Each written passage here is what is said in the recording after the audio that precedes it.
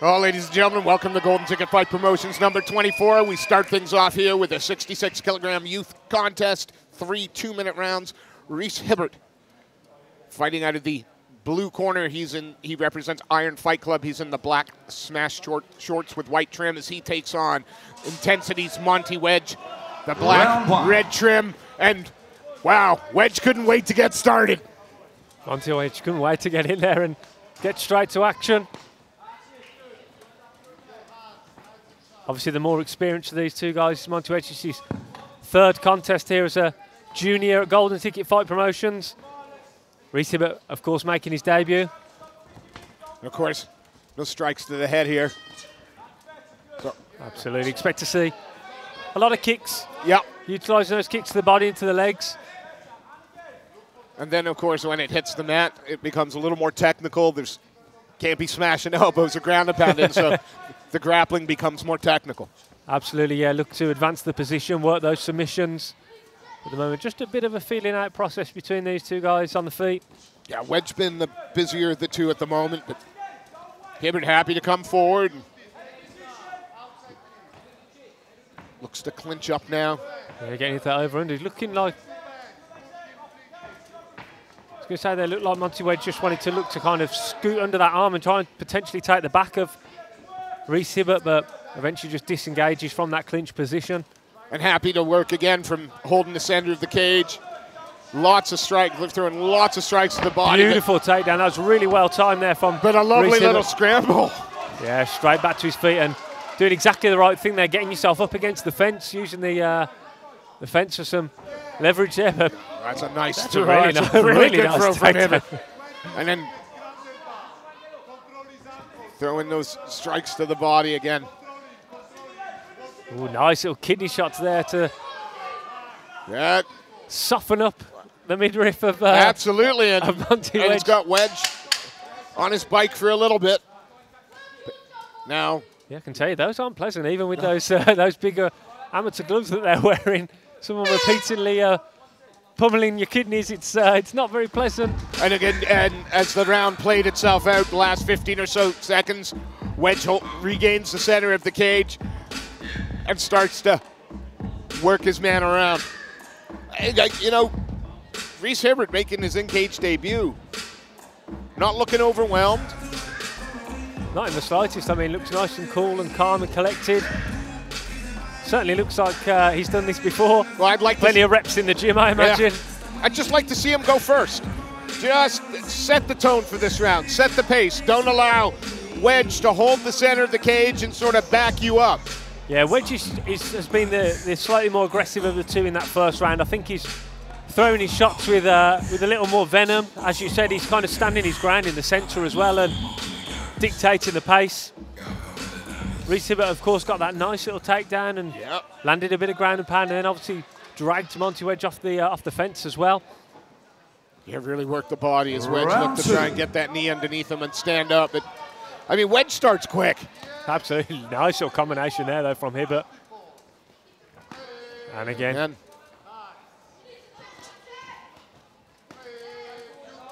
You can see that he really likes that left hook to the body, right hook to the body, and then that low kick. Does Reese Hibbert. That looks like it's his go-to combination. He started a little bit more aggressively in the second round than he did in the first round. oh yeah, he's he's definitely mo- thrown more strikes in the first 30 seconds. Been a little more active. Hard, hard kick to the lead leg from both. But yeah, those are the combinations that perhaps he he was missing in the first round. He's just it's not just one. He's following it up two or three, and then finishing with the low kick. Yeah, he's uh, he's throwing those punches in bunches, and that's how you tend to land when you when you throw those multiple strikes. Maybe if the first one or two don't get through, it's the third and the fourth ones that do. And as you said, he was missing that in the first round. He was just throwing the single strikes or, or the one or two strike combinations. And Monty Wedge was, was having the upper hand in the uh, in the striking in the first round, but a lot more even in the second Yeah, round. absolutely. Look, ducks under, looks for the takedown. Got under the hips. That's going to be. He's going to take him over. Big slam. Yeah, but beautiful takedown. up Gotta be careful. Got- yeah, got to keep, be careful of position, right? Yeah, it looks all well and good with the uh, with the big slam for the cameras, but you have to obviously make sure first and foremost that you secure that position. But beautiful technique there from uh, from Reese Hibbert with that takedown. Oh yeah, Just- I mean he hoisted him up like a sack of potatoes and deposited him just as unceremoniously. yeah, just got to make sure in the future that yeah, secure that position Yeah. first and foremost. But everything else absolutely spot on. Yeah, he changed he changed levels. He got underneath the hips. He got his man up on the shoulder. I thought we were going to get a Matt Hughes walk to the corner slam, but maybe he's a little too young for Matt Hughes. Maybe a little before his time. But again, those two minute rounds, they don't do the judges any favors at all, do they? No, I mean that was very difficult round to score. I'd, I'd be tempted to say it's one-one going into the I- third, with with Monty Wedge perhaps taking the first round and and Reese Hibbert the second round. But I mean, as you say, they're so fast-paced, and with two-minute rounds, you, there's not a lot of time to work. So it's very fine margins that separate the uh, separate the rounds. But I mean, these these these junior contests, youth contests, uh, first and foremost about getting that experience and Oh, obviously brilliant. put in what you've learned in practice uh, and in the gym uh, under these lights uh, of an actual show, an actual event. I mean, ultimately you Well, want to win, of course, but, the third but the result at the end of the day, in the in the, in No, the long run, it's it's not really important, It's, is it? it's about the experience, right? Exactly, It's yeah. about the time you get to spend in there. yeah, just getting used to to being in the ring, getting used to the eyes on you, the feel of being at an event. The and- lights, yeah. the DJ, the whole kit and caboodle for these two young men. And again, seems that Hibbert is going to try and match the pace of his second round here. Yeah, nice little check there from uh, Monty Wedge though, from that low kick of, uh, of Reese Hibbert. Just maybe getting to think again about throwing that low kick naked without setting it up.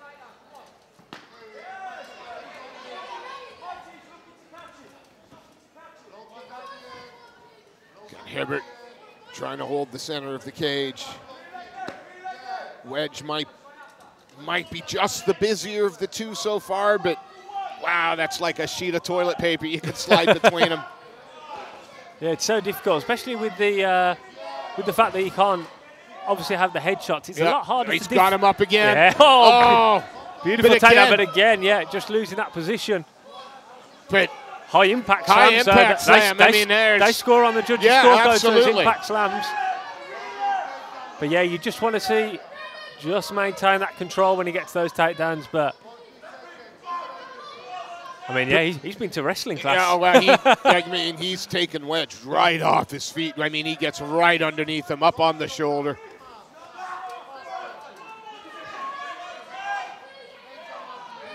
And again, Hibbert trying to push forward, and Wedge answers. If it's um, unbelievably close this contest. I've I've given up even attempting to score this fight. Somebody else's problem. yeah, I'm just I- enjoying it for but- what it is. And again, a nice flurry to end it from the Iron Fight Club man, Reese Hibbert. And whoo, this is a tight fight. Absolutely, yeah. I I wouldn't like to call that. I wouldn't like to be a judge in uh, in their seats this evening, but uh, yeah, real fun fight. Real fun. Real fun, action-packed, start to finish.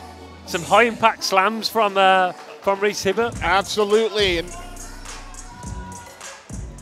and a fight that very much played out on the feet as well. You often see with these with these youth fights, more often than not, they land some of the strikes, and then one fighter ends up going for the takedown, and there's a lot of control lot of- time. yeah. But yeah, the, the majority of this fight played out on the feet. There was a lot of action between the two, which makes it even more difficult to score. If anything. absolutely. Well, Mr. Lee Thompson is going to make his way into the cage in a moment. He's going to have the judges' scorecards. Before he gets in, we'll give a quick shout out to Therapy with Rob, to Live MMA, and to 411. Let's make this one official.